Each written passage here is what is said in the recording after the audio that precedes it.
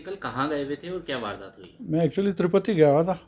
तो कल मैं लौट रहा था तो घर पे डॉक्टर को बुलाया मैंने कहा साफ़ सफ़ाई कर ले तो वो आई तो उसने खुला देखा।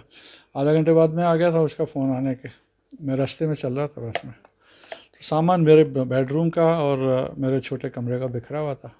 पेटियाँ खुली थी अलमारियाँ खुली थी। मैं ताले वाले लगा के जाता नहीं।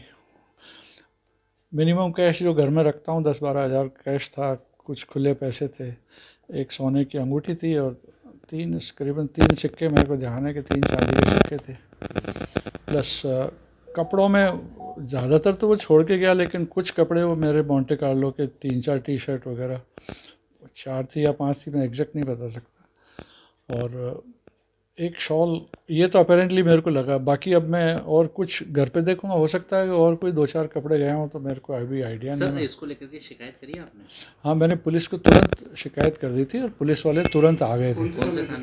कृष्ण थाने में किया था। कितने का नुकसान मानते वो अंगूठी चार एक ग्राम पर चार ग्राम की होगी मेरी शायद ये मानते और चांदी के तीन सिक्के दस दस ग्राम के थे और दस बारह हज़ार कैश और हज़ार एक रुपये की।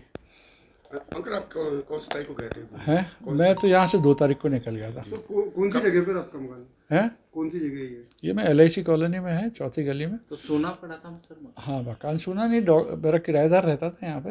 वो सैटरडे संडे वो डॉक्टर है ऑलरेडी दो हज़ार ग्यारह से डॉक्टरी कर रहा है। अभी पीजी के लिए यहाँ आया होता तो उसने कमरा ले रखा है मेरा एक किराए का। ये था।